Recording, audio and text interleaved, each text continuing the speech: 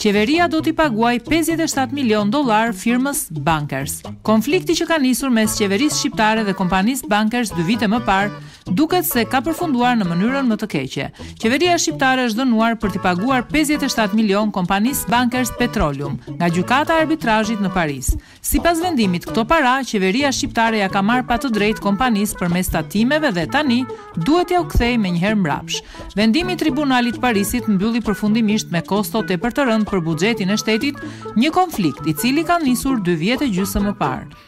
Në atë kohë, Agjencia Kombëtare e Burimeve Natyrore auditoi bilancet e viteve të mëparshme të Bankers dhe doli në konkluzionin se kompania kishte rritur artificialisht shpenzimet me treqind milionë dollarë për të paguar më pak taksa në shtet.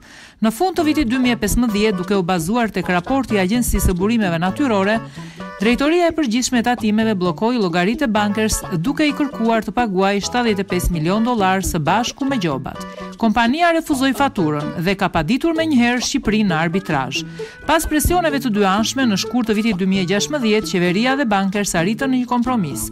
Kompania do të paguante paratë sipas vlerësimit të tatimeve. Ndërkohë, që qeveria pranoi që konflikti të auditohej nga një ekspert i pavarur ndërkombëtar. Dhe eksperti i pavarur shqyrtoi pretendimet e dyanshme dhe i dha të drejtë Bankers. Qeveria nuk e pranoi këtë gjykim dhe vendosi të vazhdojë betejën në arbitrazh. Por arbitrazhi ka vendosur pro kompanisë, duke e detyruar qeverinë shqiptare t'i kthejë kompanisë kanadeze pesëdhjetë e shtatë milionë dollarë amerikanë plus interesat dhe shpenzimet e gjyqit. që në total shkojnë gjashtëdhjetë milionë dollarë, një goditje tepër e rëndë për buxhetin e shtetit. Kjo është hera e dytë brenda një kohe shumë të shkurtër që buxheti merr goditje nga gjykatat ndërkombëtare. Një muaj më parë Gjykata e Arbitrazhit në Strasburg dënoi qeverinë të paguajë trembëdhjetë milionë dollarë për të dëmshpërblyer pronarët e pallatit të ndërtuar nga vjehrri i Lulzim Bashës në Vlorë. Në total, shtatëdhjetë e tre milionë dollarë për vetëm një muaj, që do të paguhen të gjitha nga taksapaguesit shqiptarë.